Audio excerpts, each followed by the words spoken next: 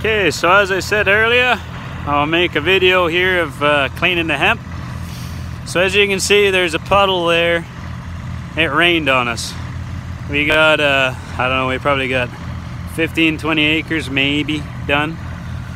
And then uh, we got rain, so we had some supper and we waited for the rain to pass and now we're cleaning the hemp up here.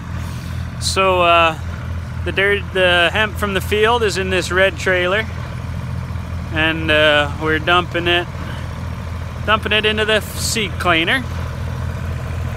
The uh, the front machine there you can see right in the middle of the screen uh, that one is called an indent so that sorts by length. Now there's not actually any wild oats in this so right now I'm not using it. Usually like the preliminary use for it would be to take the short stuff out so the rolls uh, you can see the roll in here. Um, so the grain goes inside the rolls and it sorts by length. So there's actually a U trough if you can imagine there's a trough that goes right through the middle inside that roll. And inside the trough there's an auger. And the auger goes right through the roll and it turns with the roll. So what happens is the grain goes in here. It goes over this scalper aspirator which just it's just a fancy word for a mesh roll that takes off the big chunks, basically. So any like stalk and that kind of stuff, takes that off and puts in the screenings. And then the rest of the, so the good grain goes through there. It'll go into this roll right here, through the roll. And the roll will, so it goes into the bottom of the roll. The roll has indents in it, just as its name, indents. So the indent, the pocket of the indent, the grain will go into the indent and the indent will carry it around the roll. And now, if you can imagine, if uh, so an object, say, let's say a hemp kernel fits perfectly in that indent. So the indent will carry that a long ways around.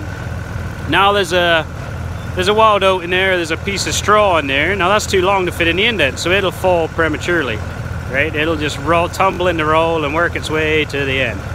The hemp will go up around, it will drop in the trough, it'll go through the trough and then go into a different roll. So what goes in the trough, which is the shorter stuff, will go down into the middle roll and then work its way back. And then the short out of the short roll is screenings and the long out of the short roll is clean. So then the long that comes out of the top roll goes into the bottom and then the long that comes out of the bottom roll is screenings, and the short is clean. And then it goes from there, it goes across in that trough. You can't see it's behind the fuel tank, but I'll show you in a bit. And then it goes up through the, I call it the transfer auger. And it goes up into the top of the air screen where there's uh, suction to lift off the lights. And it goes down into this top screen deck and it splits into two screens. And it goes down this way and those two screens take off the larger uh, product. So you know chunks of stalk again anything bigger than the hemp you can put whatever size screens in you want. In this instance we have 13 64ths round hole and that's 13 64ths of an inch. So 13 64th round hole screens.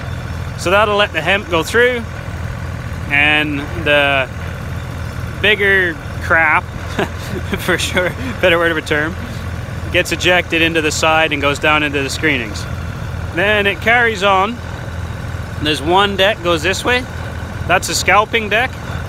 And for hemp, we run a 5 64ths of an inch again, but it's a slot this time, a 5 64th 3 quarter inch slot. So that lets the fines through.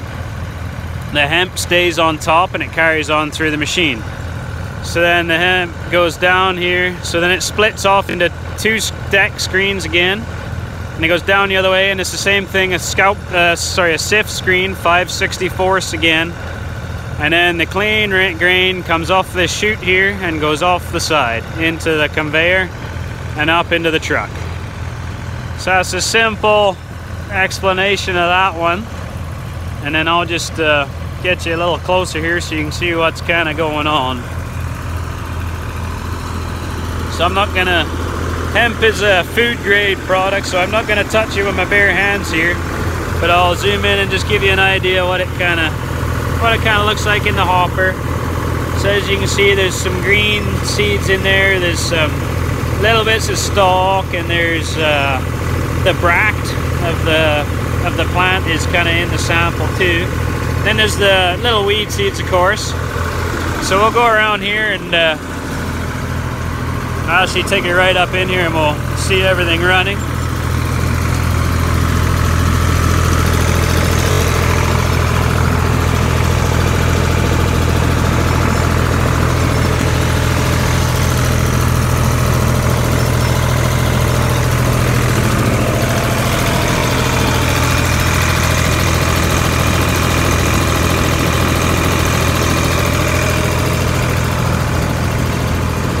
So uh, I don't know if you can hear me here, but this side, you see everything's kicking off here into chutes that go down into the side. And in the side here, there's an auger, which is the screenings.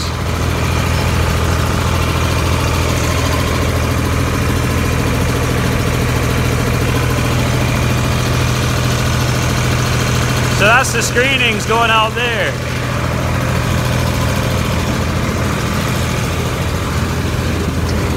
Oh, sorry about that. So this is the this is the lights coming off the suction.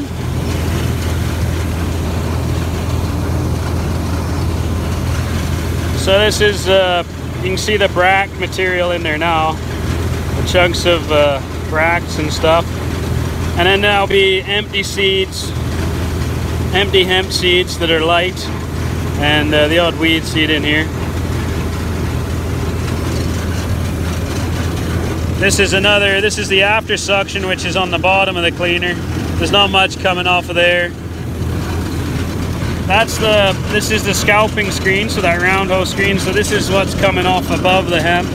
So as you can see, it's just big chunks of, big chunks of stalk and all that kind of junk. I'm not using my indent right now because uh, the hemp tends to roll to the bottom and it goes out in the screening, so. And then this is the I'll call it clean, but it's not clean. It's just cleaner.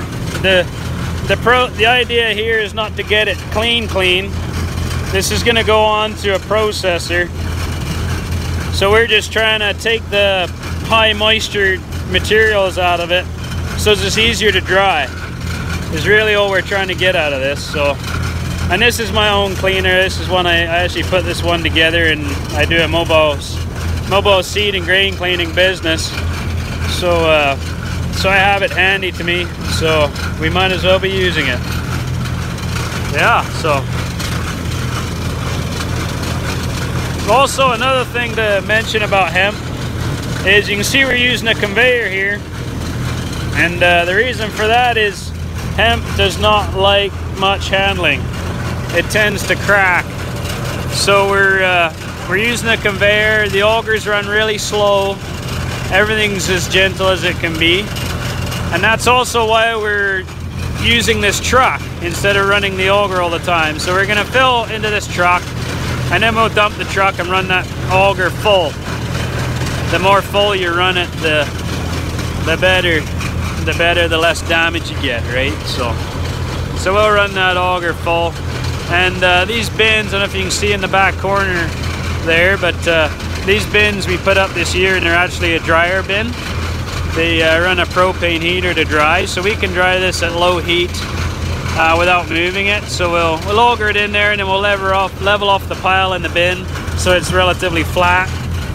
And then uh, we'll dry it. And hopefully we get it dry enough, get a sample sent away and they want to take it pretty soon. Anyways, that's all for me tonight. I'm gonna carry on cleaning, get this done, and call her a day.